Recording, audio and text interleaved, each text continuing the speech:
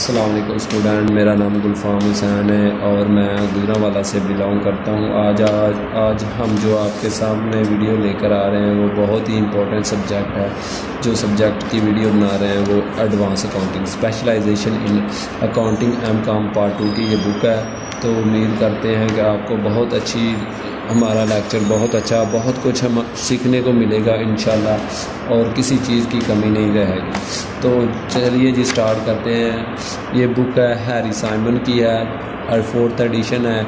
इसमें आज हम जो करेंगे वो है business combination chapter nine business combination क्या होता है? जब जब दो बिज़नेस या दो से ज़्यादा बिज़नेस आपस में कट रिसोर्सेज अपने रिसोर्सेज कंबाइन कर लेते हैं कॉमन बेनिफिट के लिए तो इसे बिज़नेस कम्बिनेशन कहते हैं। बिज़नेस कम्बिनेशन में इसकी दो टाइप एक मर्जर है और दूसरी कंसोलिडेशन है। मर्जर में हम क्या करते हैं? मर्जर में हम जब दो बिज़नेस आपस में जब दो बिज़नेस एक बिज़नेस दूसरे बिज़नेस के एसेट ख़रीदता है तो उसे मर्जर कहते हैं कि उसने दूसरी कंपनी को मर्ज कर लिया। फॉर एग्ज़ाम्पल आप जैसे आपके सामने आप न्यू एग्ज़ाम्पल है जैज़ ने वारद को मर्ज कर लिया। ये मर्जर की एग्ज़ाम्पल है कि जैज़ ने वारद को मर्ज कर लिया। और कंसोलिडेशन के जो है, वो है, जब दो बिज़नेस दो बिज़नेस आपस में एग्री हो जाते हैं कि हम दोनों कंपनीज़ दो कंपनीज़ आपस में एग्री होती हैं कि हम दोनों कंपनीज़ मिल के एक न्यू कंपनी क्रिएट करते हैं तो उसे कंसोलिडेशन कहते हैं। ये था ओवरव्यू ऑफ़ चैप्टर चलिए स्टार्ट करके देखते हैं इसका कैसे करना है और इसकी क्या सूरत हाल। ये चैप्टर हमारा चैप्टर नाइन है।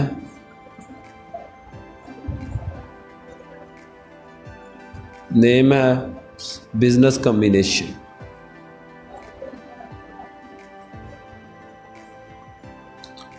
combination.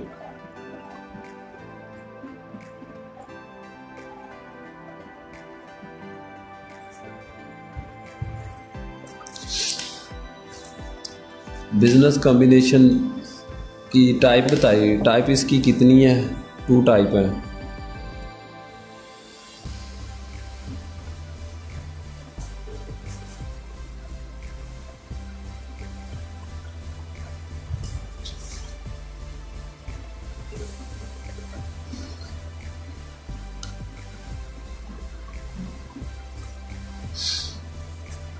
मर्जर क्या है? मर्जर का ओवरव्यू मैंने दे दिया।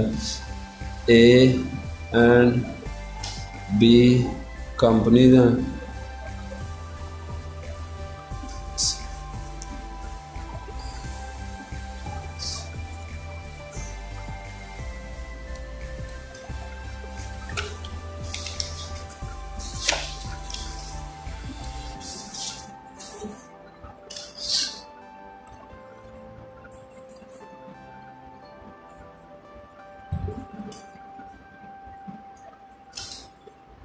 B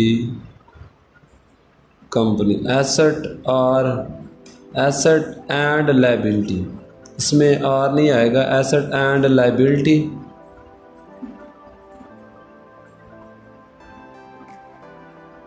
of B company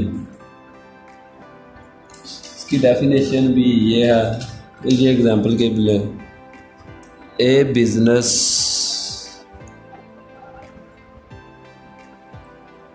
combination.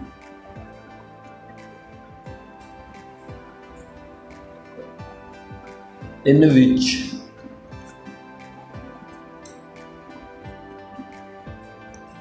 one business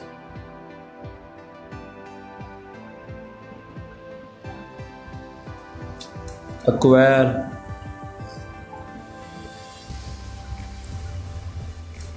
another, acquire to another business.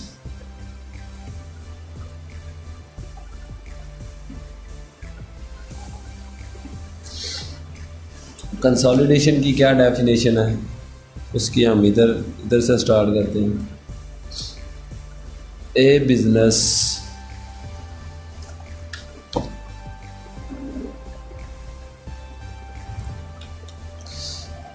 combination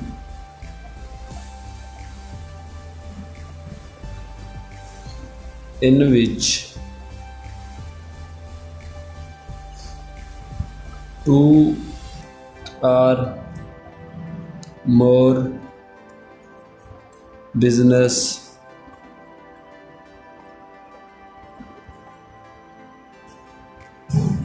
combine their resources.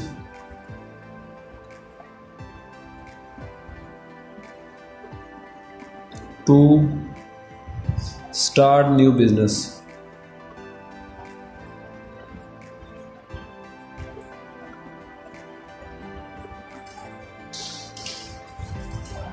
इसके आगे दो मेथड बताए थे परचेज अकॉर्डिंग टू मर्जर और कंसोलिडेशन है। तो मर्जर अकॉर्डिंग टू मर्जर्स मिस इसकी एंट्री देखते हैं इधर।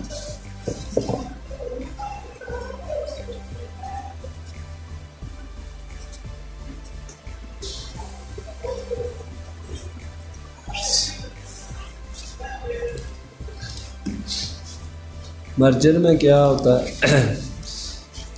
मर्जर में परचेज मेथड के थ्रू। ये परचेज मेथड है। सब पहले परचेज के हिसाब से करेंगे हम।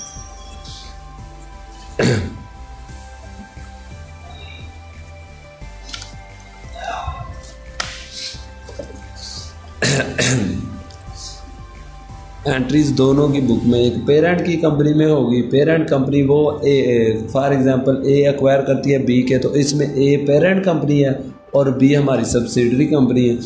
In the book of parent company company इधर हम एंट्री करेंगे in the book of subsidiary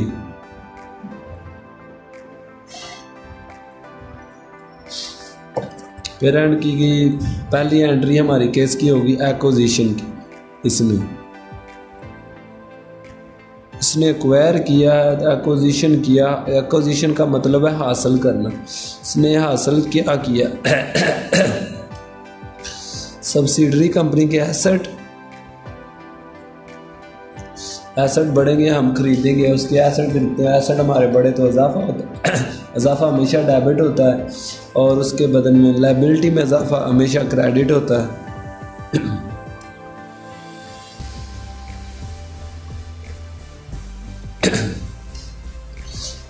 liability के लाइबिलिटी के बाद वो लिखना है जो अगर आप फॉर एग्ज़ाम्पल कैश पे करते हैं, उसके बदले में कैश अगर शेयर इशू करते हैं तो कैपिटल स्टॉक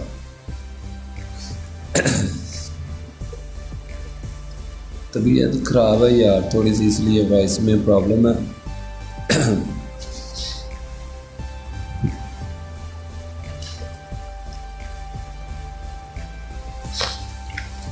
सब्सिडरी ने किसकी एंट्री करनी है? इसने सेल की करनी है, क्योंकि इसने सेल की है।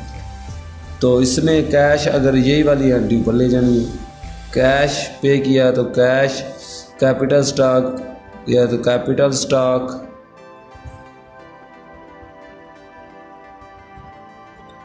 डेबिट उसकी लाइबिलिटी कम हुई है तो डेबिट होगी।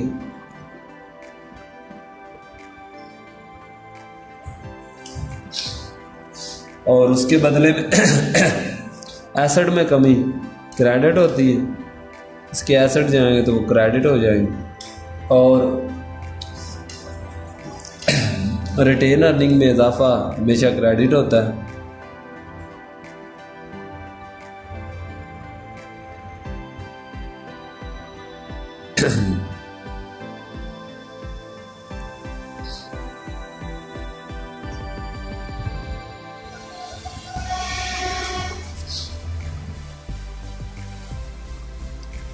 अच्छा जी।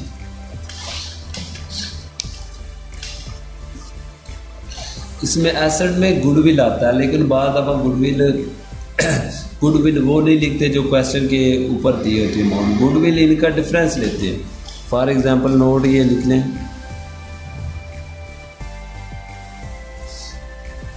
Any difference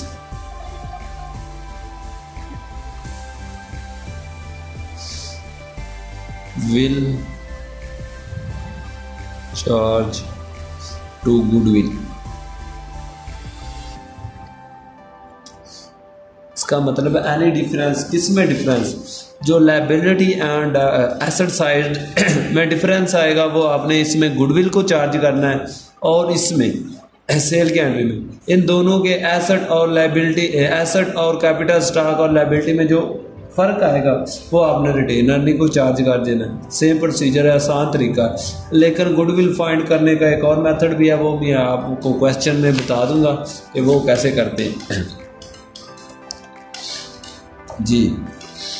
आगे इसकी एक और डिस्ट्रीब्यूशन की एंट्री होगी पास। वो क्या होगी? जी हम नेक्स्ट पेज पे देखते हैं।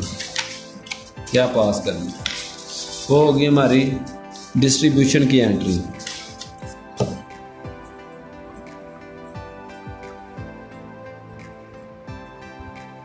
ये सब्सिडरी की बुक में होगी। पेरेंट की कंपनी की बुक में सिर्फ़ एक ही एंट्री पास करेंगे, वो हम ये वाली, ऊपर वाली करेंगे। एक्विजिशन की एंट्री होगी पेरेंट की बुक में और कोई एंट्री नहीं होगी। तो सब्सिडरी की डिस्क्रिमिनेशन की एंट्री में क्या करें? Capital stock debit capital stock अब सब्सिडरी का लेना है।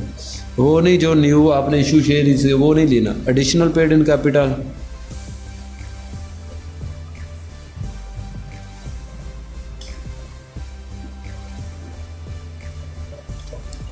और उसके अलावा रिटेन अर्निंग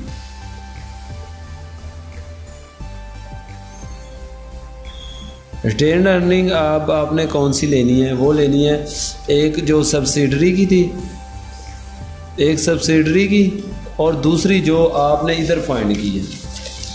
यहाँ पे फाइंड की है। दूसरी जो आपने ऊपर फाइंड की है, वो दोनों को ऐड करके रिटेन अर्निंग आपने लिखनी है।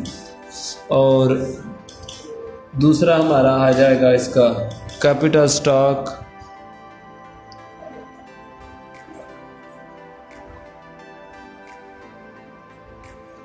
Of parent company parent company का आएगा कैपिटल स्टॉक अकाउंट वो हमारा क्रेडिट हो जाएगा इसके बदले ये दो ही एंट्रीज इसकी बुक में आती है। हमारा मेथड है card pooling of interest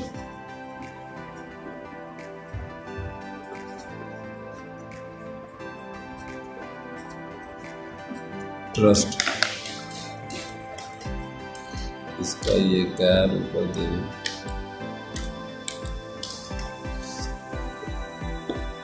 polling of interest में हम क्या एंट्री करते हैं? पेरेंट की बुक में क्या पास करेंगे और सब्सिडरी के में क्या? Parent company for example as book अभी हमारी सब्सिडरी है बीज बुक इसमें एक्विजिशन की क्या एंट्री पास होगी?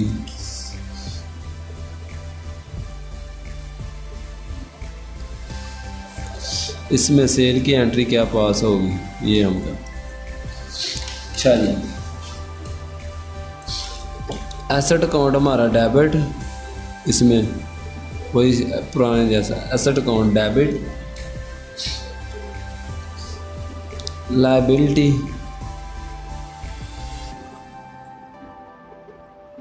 credit,